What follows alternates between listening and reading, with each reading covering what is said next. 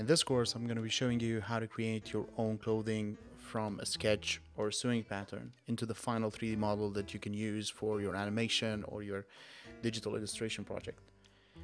Uh, this course has over six hours of in-depth 3D clothing design using Marvelous Designer and then detailing uh, the project in ZBrush and then rendering it using Dimension and Sketchfab.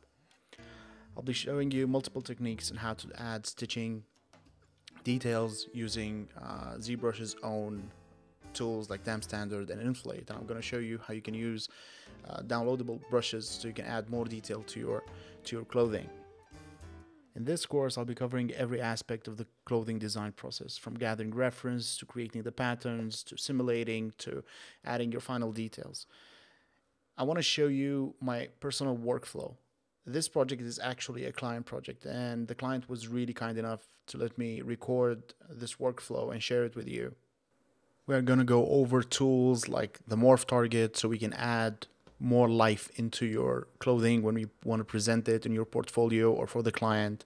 I'm going to be showing you how I uh, go about cleaning the, the model and preparing it for rendering or for animation uh, from retopology using ZRemesh to UV mapping to adding thickness uh, and cleaning up the model so you don't have any errors when you uh, export the model to do any rendering.